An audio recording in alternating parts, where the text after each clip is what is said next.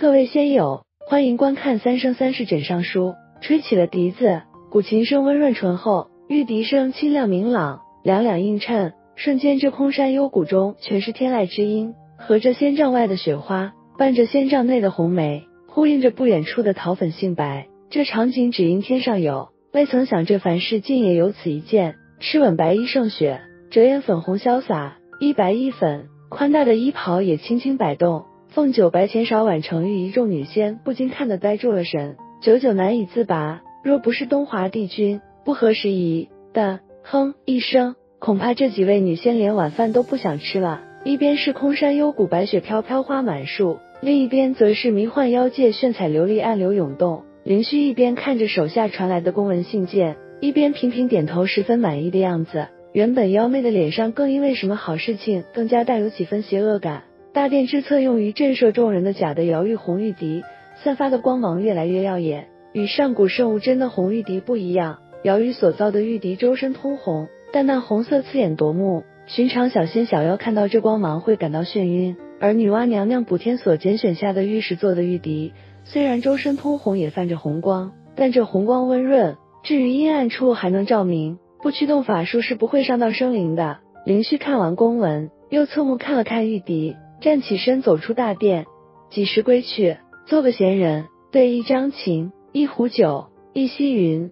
哲言在听到东华冷哼了一声之后，一脸悠哉惬意的伴着琴声说道。说完，琴声渐停，笛声渐弱，山谷中炊烟渐起，饭菜香渐渐扑鼻。这凡间的一天是疾步经过的，仿佛才是一盏茶的功夫，山谷中天色就暗了下来，仙帐中也逐渐暗淡。赤吻收起笛子，看了一圈后。施法将被仙杖笼罩的院落，四周挂起了明亮的琉璃盏，瞬间仙杖之中又仿佛回到了白昼。经过墨渊和夜华以及连宋可有可无的打下手之后，一道又一道看起来很不错的菜品被端上了早已画好的长桌之上。霎时间，仙杖之中逐渐升腾起了令人垂涎欲滴的饭菜香味。凤九拉着东华的手，率先来到餐桌，一边看一边点评这每一道菜。还不忘在自己偷吃的时候给东华喂一口。少婉一面瞧着凤九和东华，一面心下感叹，随后看着忙忙碌碌做着收尾活计的墨渊，不禁入了神。待醒神时，墨渊已经站在他眼前，正牵起他的手准备入座。凤九等人也早就坐好。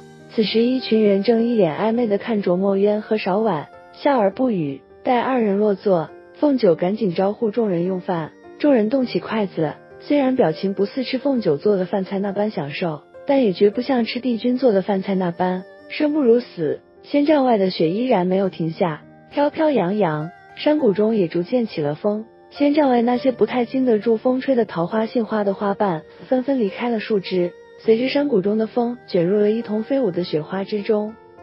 仙帐内众人饭毕，因饭后着实有些泛懒，此时谁也不想去洗刷那些碗盘，所幸各位都是神仙。东华帝君虽被自己夫人明令禁止不允许在凡间使用法术，但其他众位神仙却可以任性，因而清洗碗盘这等小事就被成玉元君代劳了。雪下的愈发紧了，白雪中夹杂的花瓣也越来越少，仙帐外的山花几乎都凋落了，一副残破景象。凡间精致最是真实，山花烂漫是真，随风凋落也是真，不似九重天却花草树木是永不会颓败的。凤九在经历了生死之后，反倒对这凋零的精致别有一番欣赏喜悦。此时的凤九正牵着东华的手，站在院落大门处，静静的看着这仙帐外的景象，全神贯注的样子，倒叫东华帝君隐隐有些担心。东华帝君从未见过凤九如此模样，不同于打造剑匣时的专注，那时的凤九虽然专注，但举止间依然活脱脱少女情怀。而如今站在自己身边的这只几万岁的小狐狸，不仅专注。身上更是流露出一种气度，这大概就是君王之气吧。东华不仅想起了九重天上凤九缩时小阿离下住在自己名下时的一席话。东华帝君笑了笑，他的小狐狸长大了，不再是从前的幼狐了，如今长成了一个四海八荒皆尊敬的女君了。东华想着，手上也加重了握着凤九手的力度，仿佛是在提醒凤九，也是在提醒自己，她不仅是女君，如今更是自己的帝后了。是一十三天太晨宫东华子府少阳君的夫人，月帝云阶慢一尊，玉奴终不负东昏。临春节起荒荆棘，谁信幽香是返魂？妖界奇花异草不比神族各处的少，散发着浓郁香气的植物也比比皆是。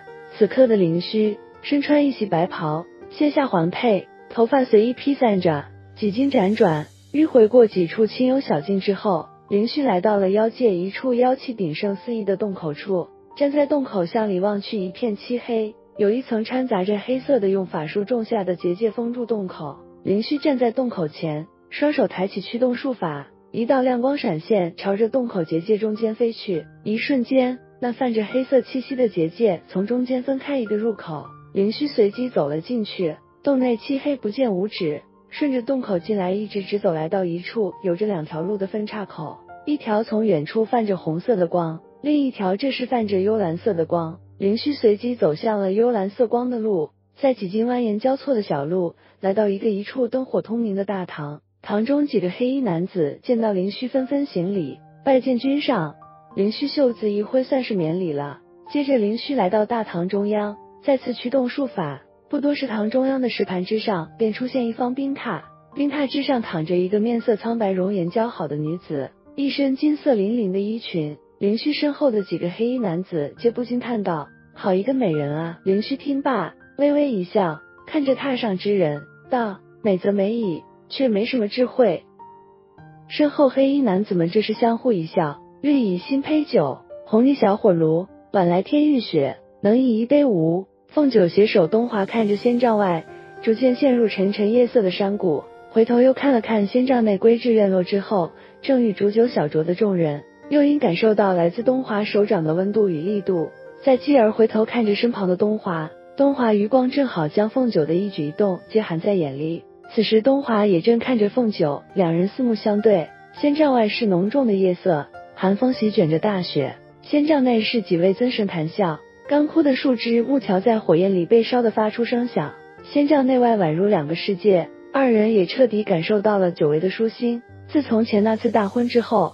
凤九和东华经历了生死劫难，复又终于在一起。如此三五好友同在一起，气氛又如此祥和的时光，却是非常难得。从前因吃吻的原因，凤九有些话不能明着说，也因吃吻没有和东华等人见过面，因此凤九一边履行着自己的承诺，一边又要安抚着东华的情绪。如今就不同了，吃吻回来了，还带来了新朋友画意。姑姑姑父爷也难得抛开九重天的政务。哲言和小叔也不再因为毕方鸟而一个离家出走，一个追。程昱和连宋先是有了老天君的千花盛典，后来经过凤九等人的助攻，关系也有了极大的进展。更值得欣喜的就是少晚的苏醒，不仅让自己多了一个朋友，也让墨渊上神从此有了心心念念之人。也因如此，从来没什么朋友的东华，如今也是妻子双全，更加之旧友重逢。这一切真的太美好了。凤九这样想着。东华见凤九望着自己发愣，轻轻将凤九揽入怀中，在唇上轻轻一吻，随即松开，调皮的看着凤九。凤九被这一吻，瞬间红了脸。又听见一旁正在煮酒小酌的众人不停的假装咳嗽，反倒没了害羞的意思。只见凤九轻轻踮起脚尖，两只手抱着东华的腰，又轻轻吻上东华的唇，只轻轻一吻，便立刻松开，挑衅似的看着众人，还轻轻的哼了一声。东华被凤九这一举动逗得心情大好，不仅当着众人秀恩爱，还顺势拉着凤九走向众人。名义上是一同小酌怡情，实际上却是要在众人眼皮子跟前秀恩爱。众人无奈，凤九、东华二人，一个年纪最小，自小就机灵古怪；一个年纪最老，四海八荒，脸皮最厚。如此二人在众人面大秀恩爱，倒也无可厚非。放做其他人，那可是万万不能的。其实东华凤九也并非如此不顾世俗眼光。好了，今天就讲解到这里。如果你有不一样的看法，可以在评论区留言，和小影一起讨论哦。赞同小影的话，可以点个赞，支持一下小影哦。我们下期见。